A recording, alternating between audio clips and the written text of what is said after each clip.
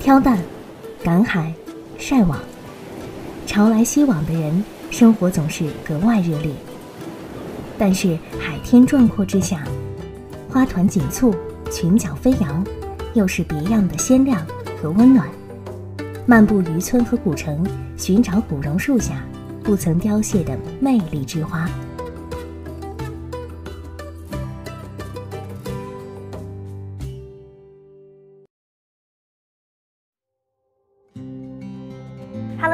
我是雨飞，我现在在福建泉州的浔埔村。那么卓老师，您知道来到浔埔村必须打卡的项目有什么？这里的头饰呢，呃，他们有一个特别名字叫簪花围，我形容是个小花园。另外呢，这里呢还有就是牡蛎啊，他们的牡蛎不单单是用来吃的，他们的壳呢还可以做建筑材料。那您看来是查了很多资料，有备而来了。刚刚说到的这个科壳错，您看后面这些牡蛎壳，您知道是从哪儿来的吗？应该是我们应该吃了里面的肉，把外面的壳作为建筑材料。这个问题可能还是得由专业人士来解答。我们今天有幸邀请到了巡抚民俗文化传播大使黄丽勇老师，来带我们深度体验一下传统的巡抚文化。黄老师 您好，嗯，主持人好，嘉宾好，我是黄丽勇。刚才你们说到这个科壳错啊，其实呢，我们泉州大家都知道是海上丝绸之路的起点。那么这些来来往往的商船呢，将我们泉州的丝织品、瓷器等等的特些产品运到国外去贩卖，进行商业贸易。那么回港的时候，因为条件有限，所以呢，他们必须把当地的这些石头、壳壳还有铁器用于压舱。那么进入我们赤铜古港之后呢，它就必须得随意的散落。所以我们的村民呢，就就地取材，呃，将它呢建造成了我们现在世界上独一无二的壳壳厝啦。所以算是当时的一个变废为宝的对对对，千年砖万年壳，比砖还牢固呢。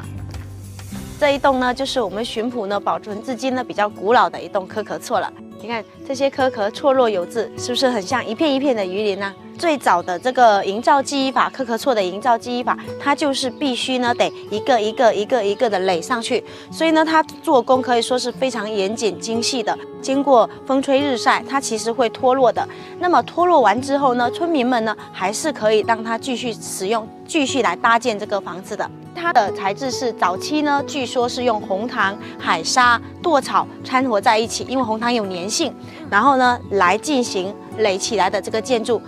那刚刚看到了这些壳，然后也看到了有一些奶奶她正在撬那个牡蛎。是的，我们巡捕女非常的勤劳，每天呢要么就是贩卖海鲜，要么就是出海劳动。最具代表性的还是他们的挖海蛎，这个撬这个海蛎子，我们可以去体验一下。这呢就是我们巡捕村呢巡捕女呢去挖回来的海蛎子啦。嗯哼。那跟我们刚才看到的科壳房子是不一样的，对不对？嗯。那每一个海蛎子呢，它都有一个小小的嘴巴，就在这个位置。嗯，然后呢，我们把小小的嘴巴呢给它打开，好，动两下，哎，这就是一个壳壳，嗯，现在就开开了，嗯，对，然后呢，这些肉在这里，然后这边呢还有一个连接点，就它的像小眼睛一样连接点，把它呢刮开，哎，一条漂亮的海蛎就起起来了。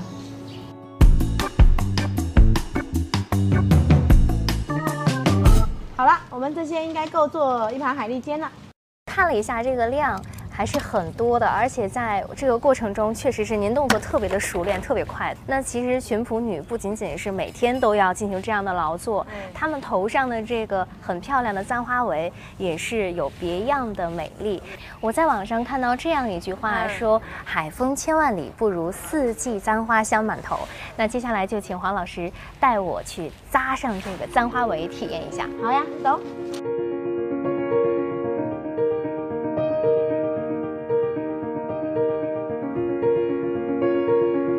个巡捕簪花围呢，它是从宋元时期的古筝单法演变过来的，所以呢，它已经有近千年、快近千年的历史了。我看我这个旁边摆了特别多种花，它们是有不同的寓意是吗？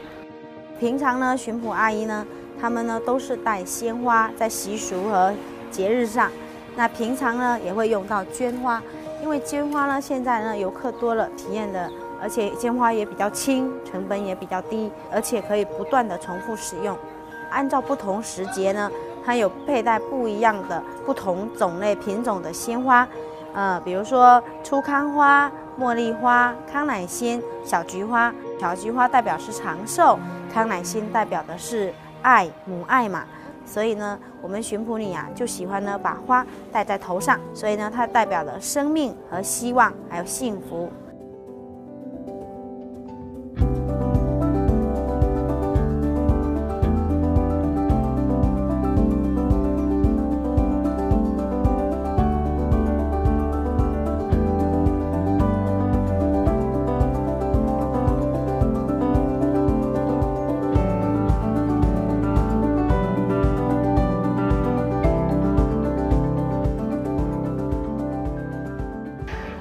在体验簪花围的时候，其实我特别的开心，不仅仅是因为我头上顶着小花园，而且还是因为簪花围它背后的寓意真的很美好，勇敢、热爱、奔赴。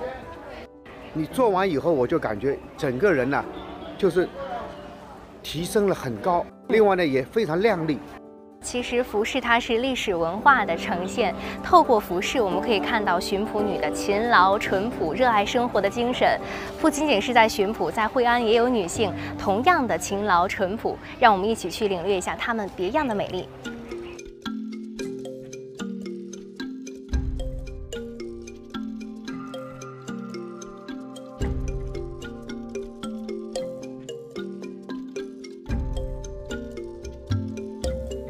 现在我们在惠安女民俗风情园的惠女民俗馆，在我旁边的就是惠女服饰代表性传承人曾梅霞老师。曾老师你好，你好，嗯，您能给我们介绍一下惠女都有哪些独特的习俗和习惯吗？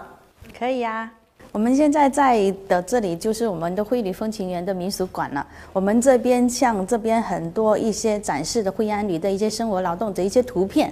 我们说的会理精神，就是我们有用十二个文字来概括，就是我们勤劳勇敢、勤俭持家、任劳任怨。在我们五十年代的时候啊，我们当时啊有两万多个惠安女集体建造了一个惠女水库。像我身上这一套服装就是传统的惠女服装。我们有一句话很生动的形容了惠安女的这套服装的特色，就是这句话就是这样讲的，就是我们的封建头、民主度。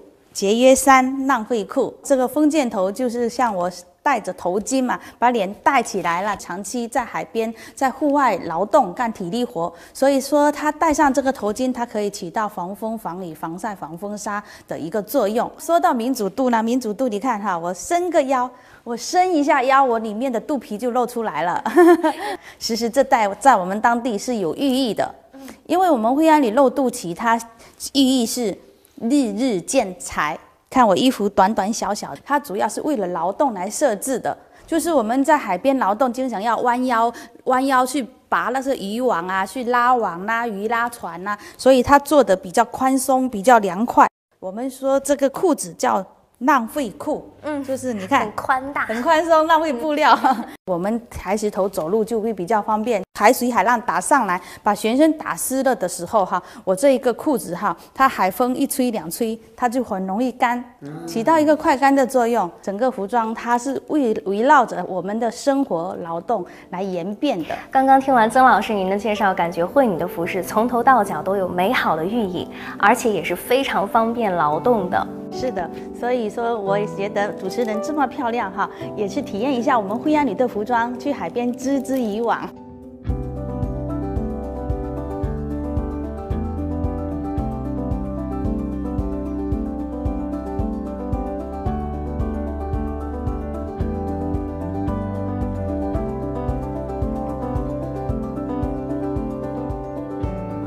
他们平时就是老公海上捕鱼回来，然后卸渔货。那我们平时哈都会把他们劳动回来的那些渔网啊，在这种礁石上选择比较干净的地方，然后拿出来晒晒渔网，然后会还会要检查一下有没有渔网哪里破了，我们就给它修补一下。在这一梭一线间，惠安女的勤劳与坚韧，成为了这片海岸线上最亮丽的风光。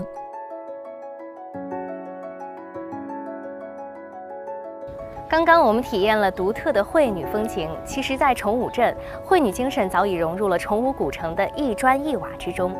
作为中国现存最完整的丁字形石砌古城，它的建造也投入了无数惠安女的汗水。崇武顾名思义，是一座为抵御外敌而建的锁城，建于公元一三八七年。登上城墙，静立灯塔前，就能想象福建壮烈的海防史。这种壮烈让这片海域变得深沉而浩大。作为中国最美八大海岸线之一，崇武海岸美在清朗澄明，也美在暗藏的惊心动魄。海风万里，香花满头。这是独属于泉州的光景。上千年的时光里，那些关于守护的坚毅壮举，那些对于温暖的世俗追求，塑造出阳刚和柔美并重的泉州性情。